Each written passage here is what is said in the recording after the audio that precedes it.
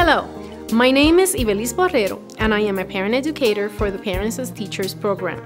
I want to invite all of you to join us for our first Books and Tots story time on Tuesday, April 16 from 10 a.m. to 11:15 a.m. at the Mountain Vista Community Center.